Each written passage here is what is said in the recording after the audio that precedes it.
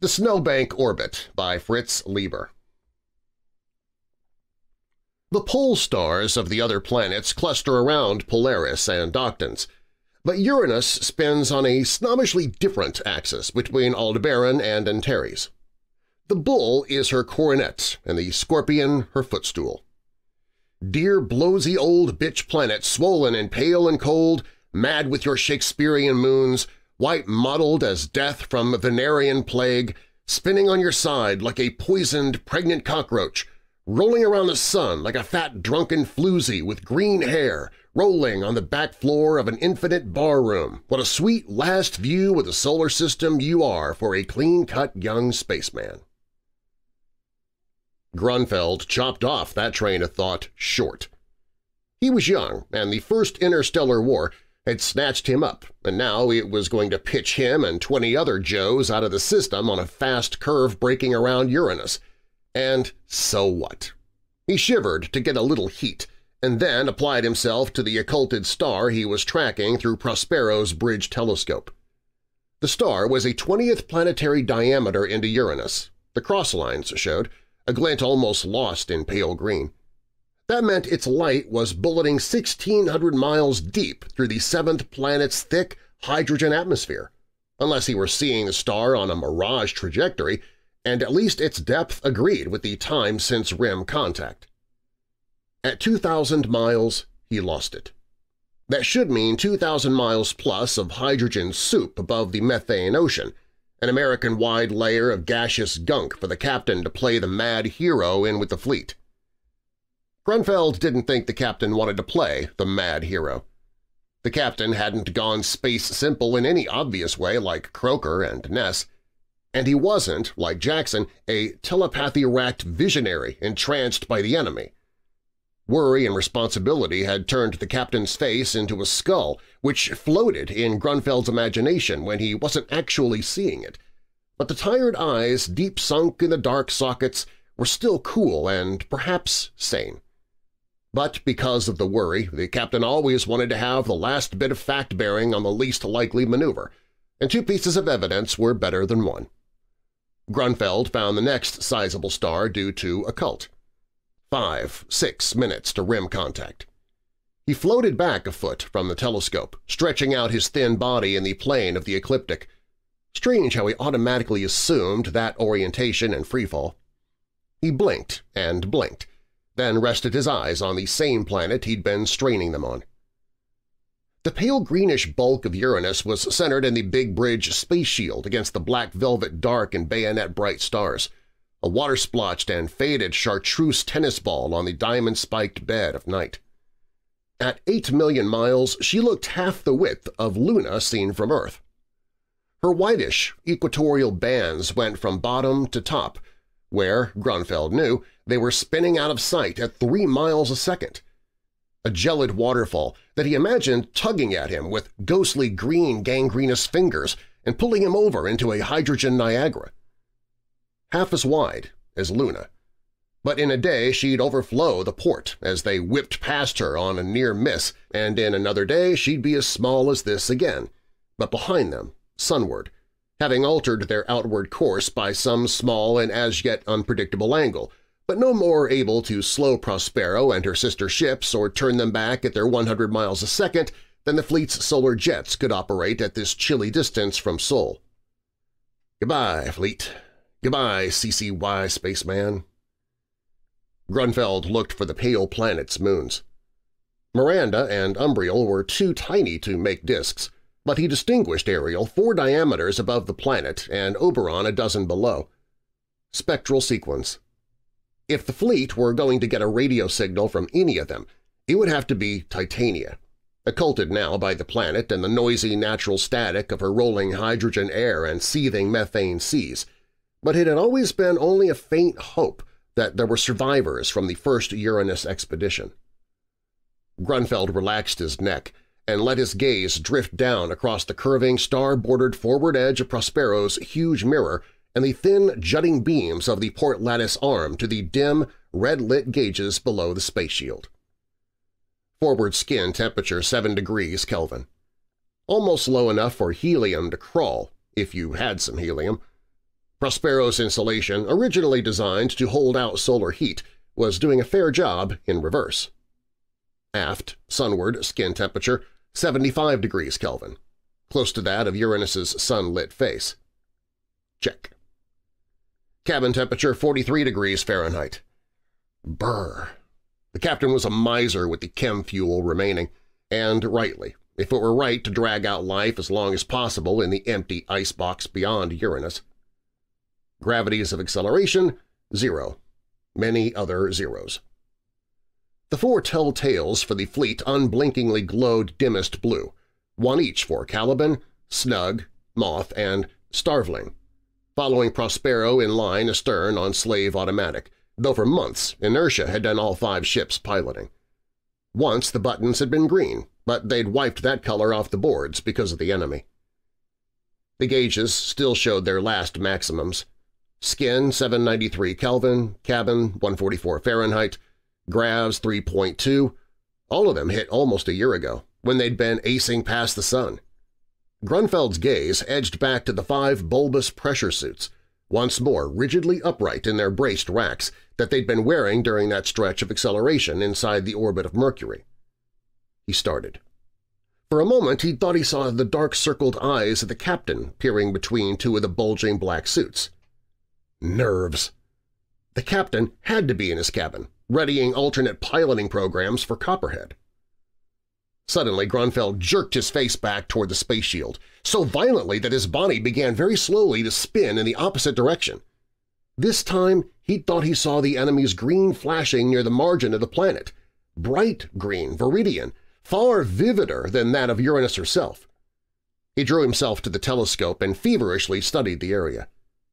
Nothing at all. Nerves again. If the enemy were much nearer than a light minute, Jackson would esp it and give warning. The next star was still three minutes from rim contact. Grunfeld's mind retreated to the circumstances that had brought Prospero, then only Mercury 1, out here. When the first interstellar war erupted, the pioneer fleets of Earth's nations had barely pushed their explorations beyond the orbit of Saturn, Except for the vessels of the International Meteor Guard, spaceflight was still a military enterprise of America, Russia, England, and the other mega-powers. During the first months, the advantage lay wholly with the slim black cruisers of the enemy, who had an anti-gravity which allowed them to hover near planets without going into orbit, and a frightening degree of control over light itself.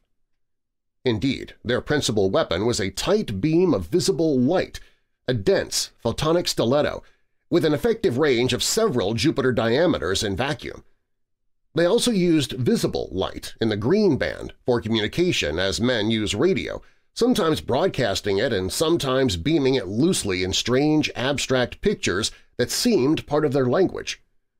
Their gravity-immune ships moved by reaction to photonic jets, the tightness of which rendered them invisible except near the Sun, where they tended to ionize electronically dirty volumes of space. It was probably this effective invisibility, based on light control, which allowed them to penetrate the solar system as deep as Earth's orbit undetected, rather than any power of travel in time or subspace as was first assumed. Earthmen could only guess at the physical appearance of the enemy, since no prisoners were taken on either side. Despite his impressive maneuverability and armament, the enemy was oddly timid about attacking live planets. He showed no fear of the big gas planets, in fact hovering very close to their turgid surfaces, as if having some way of fueling from them. Near Terra, the first tactic of the Black Cruisers after destroying Ludostrovek and Circumluna was to hover behind the Moon as though sharing its tide lockedness, a circumstance that led to a sortie by Earth's combined fleet, England and Sweden excepted. As the wholly disastrous battle of the far side, which was visible in part to naked-eye viewers on Earth, the combined fleet was annihilated. No enemy ship was captured, boarded, or seriously damaged, except for one which apparently, by a fluke, was struck by a fission-headed anti-missile and proceeded after the blast to burn, meaning that it suffered a slow and puzzling disintegration, accompanied by a dazzling rainbow display of visible radiation. This was before the stupidity of the enemy with regard to small atomic missiles was noted, or their allergy to certain radio wave bands, and also before Terran telepaths began to claim cloudy contact with enemy mines. Following Farside, the enemy burst into activity, harrying Terran spacecraft as far as Mercury and Saturn, though still showing great caution in maneuver and making no direct attacks on planets. It was as if a race of heavily armed marine creatures should sink all ocean-going ships or drive them to harbor, but make no assaults beyond the shoreline. For a full year, Earth, though her groundside and satellite rocket yards were furiously busy, had no vehicle in deep space, with one exception. At the onset of the war, a fleet of five mobile bases of the U.S. Space Force were in orbit to Mercury, where it was intended they take up satellite positions prior to the prospecting and mineral exploitation of the small sun-blasted planet. These five ships, each with a skeleton five-man crew, were essentially Ross Smith space stations with a solar drive, assembled in space and intended solely for space-to-space -space flight inside Earth's orbit. A huge paraboloid mirror, its diameter four times the length of the ship's hull, superheated at its focus the hydrogen which was ejected as a plasma at high exhaust velocity. Each ship likewise mounted versatile radio radar equipment on dual-lattice arms and carried as ship's launch a two-man chemical fuel rocket adaptable as a fusion-headed torpedo. After Farside, this tin can fleet was ordered to bypass Mercury and, tacking on the Sun, shape an orbit for Uranus, chiefly because that remote planet making its 84-year circuit of Sol was currently on the opposite side of the Sun to the four inner planets and the two nearer gas giants Jupiter and Saturn. In the empty regions of space, the relatively defenseless fleet might escape the attention of the enemy. However, while still accelerating into the Sun for maximum boost, the fleet received information that two enemy cruisers were in pursuit. The five ships cracked on all possible speed, drawing on the solar drive's high efficiency near the Sun and expanding all their hydrogen and most material capable of being vaporized, including some of the light metal hydrogen storage tanks, like an old steamer burning her cabin furniture and the cabins themselves to win a race. Gradually, the curving course that would have taken years to reach the outer planet flattened into hyperbola that would make the journey in 200 days. In the asteroid belt, the pursuing cruisers turned aside to join in the crucial battle of the Trojans with Earth's largely new-built, more heavily and wisely armed combined fleet, a battle that proved to be only a prelude to the decisive Battle of Jupiter. Meanwhile, the five-ship fleet sped onward, its solar drive quite useless in this twilight region even if it could have scraped together the needed boilable ejectant mass to slow its flight. Weeks became months. The ships were renamed for the planet they were aimed at. At least the fleet's trajectory had been truly set. Almost on collision course it neared Uranus, a mystery-cored ball of frigid gas 32,000 miles wide, coasting through space across the fleet's course at a lazy four miles a second. At this time the fleet was traveling at a hundred miles a second. Beyond Uranus lay only the interstellar night, in which the fleet would inevitably vanish. Unless, Grunfeld told himself, unless the fleet shed its velocity by ramming the gaseous bulk of Uranus. This idea of atmospheric braking on a grand scale had sounded possible at first suggestion. Half a year ago, a little like a man falling off a mountain or from a plane and saving his life by dropping into a great thickness of feathery new-fallen snow. Supposing her solar jet worked out here and she had the reaction mass, Prospero could have shed her present velocity in five hours, decelerating at a comfortable 1g. But allowing her 12,000 miles of straight-line travel through Uranus's frigid, soupy atmosphere, and that might be dipping very close to the methane seas blanketing the planet's hypothetical mineral core, Prospero would have two minutes in which to shed her velocity. Two minutes at 150 Gs. Men had stood 40 and 50 Gs for a fractional second. But for two minutes… Grunfeld told himself that the only surer way to die would be to run into a section of the enemy fleet. According to one calculation, the ship's skin would melt by heat of friction in 90 seconds, despite the low temperature of the abrading atmosphere. The star Grunfeld had been waiting for touched the hazy rim of Uranus. He drifted back to the eyepiece and began to follow it in as the pale planet's hydrogen muted its diamond brilliance.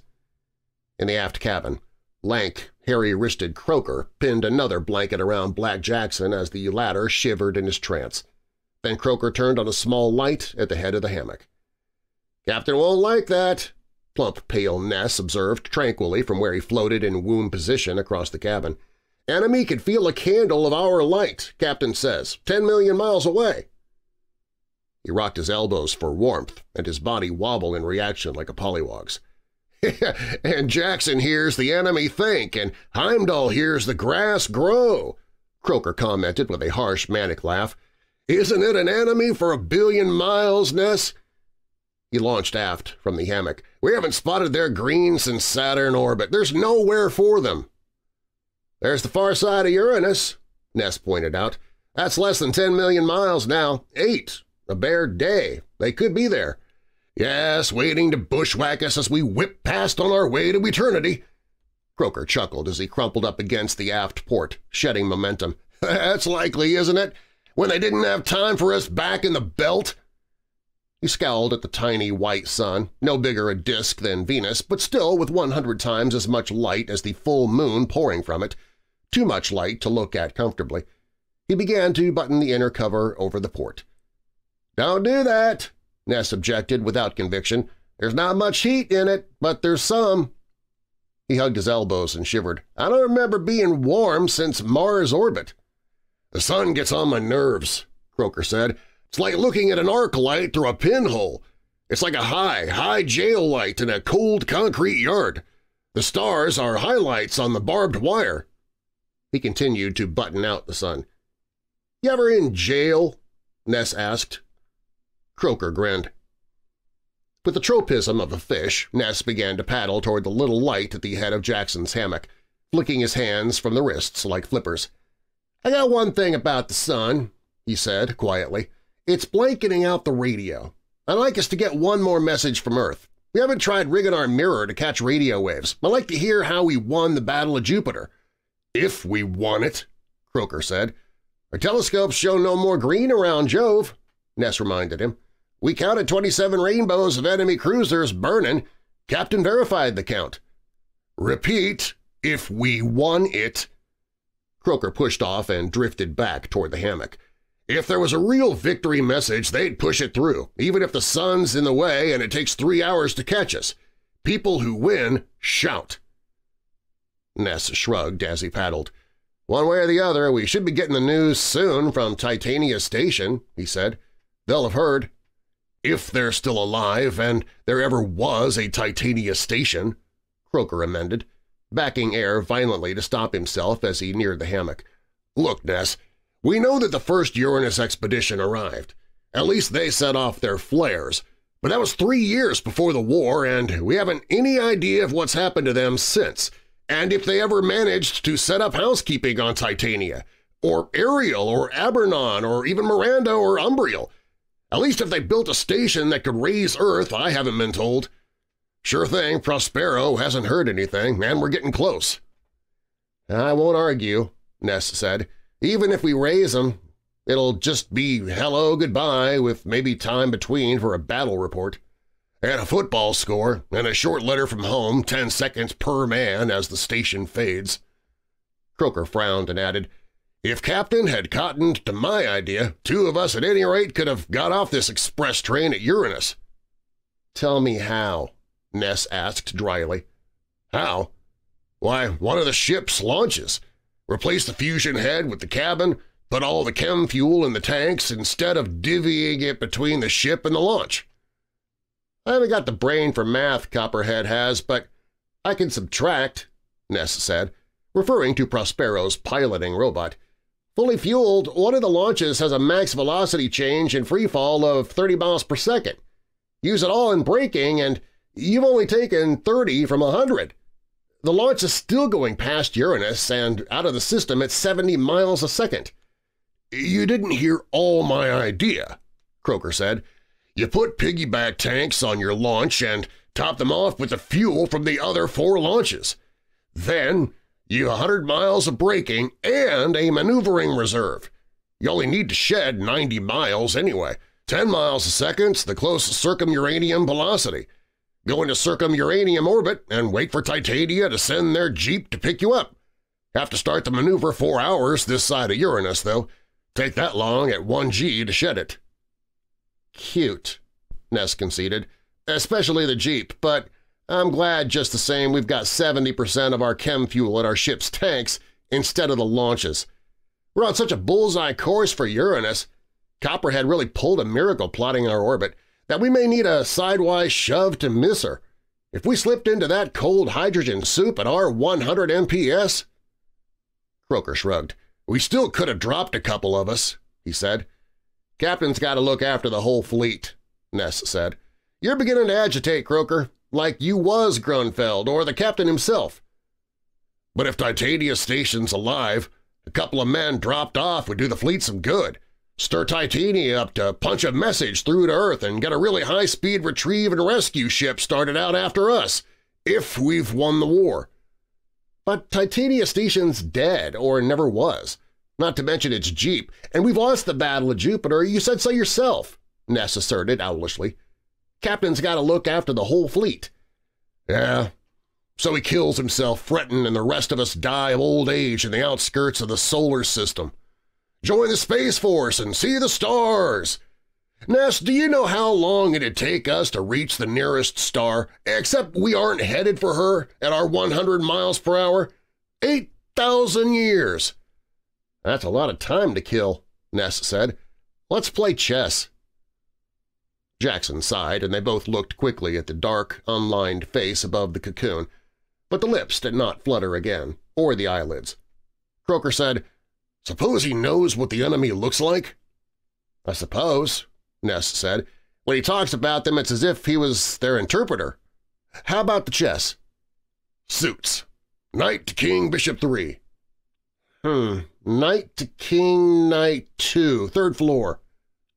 Hey, I meant flat chest, not 3D, Croker objected. That thin old game? Why, I no sooner start to get the position really visualized in my head than the game's over. I don't want to start a game of 3D with Uranus only 18 hours away. Jackson stirred in his hammock. His lips worked. They, he breathed. Croker and Ness instantly watched him. They… I wonder if he really is inside the enemy's head, Ness said. He thinks he speaks for them, Croker replied. And the next instant felt a warning touch on his arm and looked sideways and saw dark circled eyes and a skull-angular face under a battered cap with a tarnished sunburst. Damn, thought Croker, how does the captain always know when Jackson's going to talk? They're waiting for us on the other side of Uranus, Jackson breathed. His lips trembled in a smile, and his voice grew a little louder, though his eyes stayed shut. They're welcoming us. They're our brothers. The smile died. But they know they got to kill us. They know we got to die. The hammock with its tight swathed form began to move past Croker and he snatched at it. The captain had pushed off from him for the hatch leading forward. Grunfeld was losing the new star at 2,200 miles into Uranus when he saw the two Viridian flares flashing between it and the rim. Each flash was circled by a fleeting bright green ring, like a mist halo. He thought he'd be afraid when he saw that green again, but what he felt was a jolt of excitement that made him grin. When it came a touch on his shoulder, he thought, the captain always knows. "'Ambush,' he said. "'At least two cruisers.' He yielded the eyepiece to the captain. Even without the telescope, he could see those incredibly brilliant green flickers. He asked himself if the enemy was already gunning for the fleet through Uranus. The blue telltales for Caliban and Starveling began to blink. "'They've seen it too,' the captain said. He snatched up the mic and his next words rang through the Prospero. "'Rig ship for the Snowbank orbit! Snowbank orbit with Stinger! Mr. Grunfeld, raise the fleet!' Aft, Croker muttered, "'Rig our shrouds! Don't he mean rig shrouds and firecrackers mounted on Fourth of July rockets?' Ness said, "'Cheer up! Even the longest strategic withdrawal in history has to end sometime.' Three quarters of a day later, Grunfeld felt a spasm of futile fear and revolt as the pressure suit closed like a thick-fleshed carnivorous plant on his drugged and tired body. Relax, he told himself. Fine thing if you cooked up a fuss when even Croker didn't. He thought of forty things to recheck. Relax, he repeated. The work's over. All that matters is in Copperhead's memory tanks now, or will be as soon as the captain's suited up. The suit held Grunfeld erect, his arms at his sides, the best attitude, except he was still facing forward, for taking high G, providing the ship herself didn't start to tumble. Only the cheek pieces and visor hadn't closed in on his face, translucent, hand-thick petals as yet unfolded. He felt the delicate firm pressure of built-in fingertips monitoring his pulses and against his buttocks the cold smooth muzzles of the jet hypodermics that would feed him metronomic drugs during the high G stretch, and stimulants when they were in freefall again. When? He could swing his head and eyes just enough to make out the suits of Croker and Ness to either side of him, and their profiles wavy through the jutting, misty cheek pieces. Ahead to the left was Jackson, just the back of his suit, like a black snowman standing at attention, pale olive-edged by the great glow of Uranus, and to the right the captain, his legs suited but his upper body still bent out to the side as he checked the monitor of his suit with its glowing blue button and the manual controls that would lie under his hands during the maneuver. Beyond the captain was the space shield, the lower quarter of it still blackness and stars, but the upper three quarters filled with the onrushing planet's pale mottled green that now had the dulled richness of watered silk. They were so close that the rim hardly showed curvature. The atmosphere must have a steep gradient, Grunfeld thought, or they'd already be feeling decel. That stuff ahead looked more like water than any kind of air. It bothered him that the captain was still half out of his suit. There should be action and shouted commands, Grunfeld thought, to fill up these last tight-stretched minutes. Last orders to the fleet, port covers being cranked shut, someone doing a countdown on the firing of their torpedo. But the last message had gone to the fleet minutes ago. Its robot pilots were set to follow Prospero and imitate nothing else, and all the rest was up to Copperhead. Still, Grunfeld wet his lips. "'Captain?' he said hesitantly. "'Captain?' "'Thank you, Grunfeld.' He caught the edge of the skull's answering grin. "'We are beginning to hit hydrogen,' the quiet voice went on. "'Forward skin temperatures up to 9K.' Beyond the friendly skull, a great patch of the rim of Uranus flared bright green. As if that final stimulus had been needed, Jackson began to talk dreamily from his suit. They're still welcoming us and grieving for us. I begin to get it a little more now. Their ship's one thing and they're another. Their ship is frightened to death of us. It hates us, and the only thing it knows to do is to kill us. They can't stop it. They're even less than passengers. The captain was in his suit now. Grunfeld sensed a faint throbbing and felt a rush of cold air. The cabin refrigeration system had started up, carrying cabin heat to the lattice arms. Intended to protect them from solar heat, it would now do what it could against the heat of friction. The straight edge of Uranus was getting hazier. Even the fainter stars shone through, spangling a bit. A bell jangled, and the pale green segment narrowed as the steel meteor panels began to close in front of the space shield. Soon there was only a narrow vertical ribbon of green, bright green as it narrowed to a thread, then for a few seconds only blackness, except for the dim red and blue beads and semicircles, just beyond the captain, of the board. Then the muted interior cabin lights glowed on. Jackson droned. They and their ships come from very far away, from the edge. If this is the continuum, they come from the uh, discontinuum, where they don't have stars but something else and where gravity is different. Their ships came from the edge on a gust of fear with the other ships, and our brothers came with it, though they didn't want to. And now Grunfeld thought he began to feel it, the first faint thrill, less than a cowweb's tug, of weight. The cabin wall moved sideways. Grunfeld's suit had begun to revolve slowly on a vertical axis. For a moment he glimpsed Jackson's dark profile, all five suits were revolving in their framework. They locked into position when the men in them were facing aft. Now at least retinas wouldn't pull forward at high G decel or spines crushed through thorax and abdomen. The cabin air was cold on Grunfeld's forehead, and now he was sure he felt weight, maybe five pounds of it. Surely aft was up. It was as if he were lying on his back on the space shield. A sudden snarling roar came through his suit from the beams bracing it. He lost weight, then regained it, and a little more besides. He realized it was their torpedo taking off, to skim by Uranus in the top of the atmosphere and then curve inward the little their chem fuel would let them, homing toward the enemy. He imagined its tiny red jet over the great gray-green glowing plane. Four more would be taking off from the other ships, the fleet's feeble sting like a bee's, just one in dying.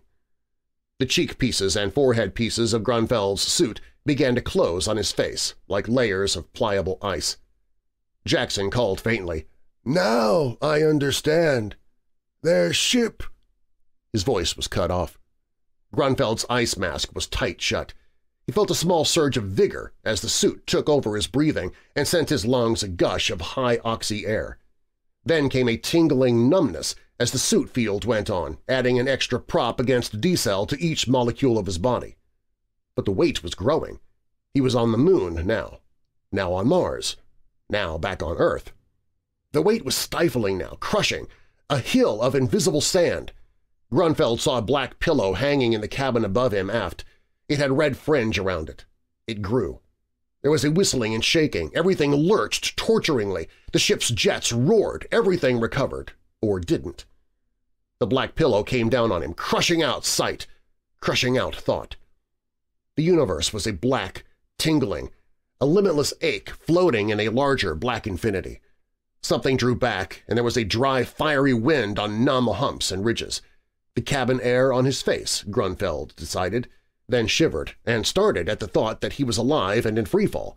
His body didn't feel like a mass of internal hemorrhages. Or did it? He spun slowly. It stopped. Dizziness? Or the suits revolving forward again? if they'd actually come through. There was a creaking and cracking. The ship contracting after frictional heating? There was a faint stink like ammonia and formaldehyde mixed, a few uranium molecules forced past plates racked by turbulence. He saw dim red specks. The board? Or last flickers from ruined retinas? A bell jangled. He waited, but he saw nothing. Blind? Or the meteor guard jammed? No wonder if it were. No wonder if the cabin lights were broken. The hot air that had dried his sweaty face rushed down the front of his body. Needles of pain pierced him as he slumped forward out of the top of his opening suit. Then he saw the horizontal band of stars outlining the top of the space shield, and below it the great field of inky black, barely convex upward.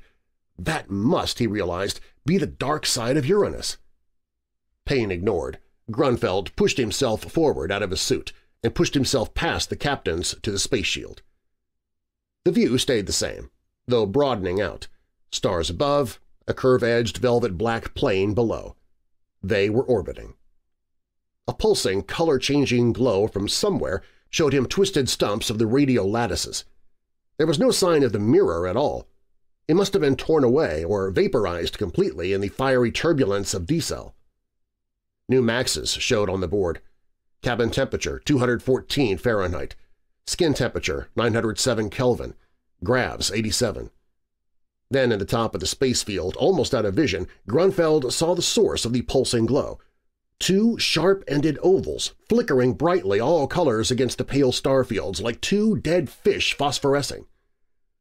"'I did find out at the end,' Jackson said quietly from the left his voice at last free of the trance tone. The enemy's ships weren't ships at all. They were, there's no other word for it, space animals. We've always thought life was a prerogative of planets, that space was inorganic, but you could walk miles through the desert or sail leagues through the sea before you notice life, and I guess space is the same. Anyway, the enemy was, what else can I call them, uh, space whales. Inertialess space whales from the discontinuum. Space whales that ate hydrogen, that's the only way I know how to say it, and spat light to move and fight. The ones I talked to, our brothers, were just their parasites. That's crazy, Grunfeld said. All of it, a child's picture. Sure it is, Jackson agreed. From beyond Jackson, Ness, punching buttons, said, Quiet! The radio came on thin, and wailing was static. Titania Station calling fleet. We have Jeep and can orbit into you. The two enemy are dead. The last in the system. Titania Station calling fleet. We have Jeep fueled and set to go. Fleet, thought Grunfeld. He turned back to the board. The first and last blue telltales still glowed for Caliban and Starveling. Breathe a prayer, he thought, for Moth and Snug. Something else shone on the board, something Grunfeld knew had to be wrong. Three little words. Ship on manual. The black rim of Uranus ahead suddenly brightened along its length, which was very slightly bowed like a section of a giant new moon. A bead formed toward the center, brightened, and then all at once the jail yard sun had risen and was glaring coldly through its pinhole into their eyes. They looked away from it. Grunfeld turned around. The austere light showed the captain still in his pressure suit, only the head fallen out forward, hiding the skull features. Studying the monitor box of the captain's suit, Grunfeld saw he was set to inject the captain with power stimulants as soon as the gravs began to slacken from their max. He realized who had done the impossible job of piloting them out of Uranus. But the button on the monitor that should have glowed blue was as dark as those of Moth and Snug. Grunfeld thought, now he can rest.